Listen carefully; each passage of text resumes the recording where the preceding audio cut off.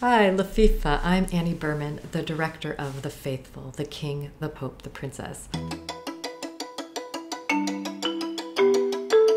A film about the magnetic appeal of three of the most photographed figures of our time Elvis, Pope John Paul II, and Princess Diana.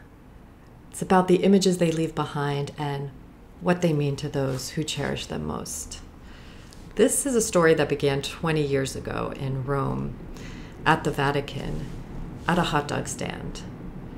I discovered uh, the Pope, the Holy Father's face emblazoned on a lollipop just outside the Vatican. This lollipop became the first item in my collection of images and artifacts.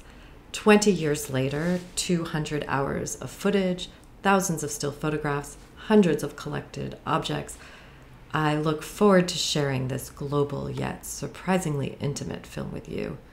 A 20 year exploration of what it means to love.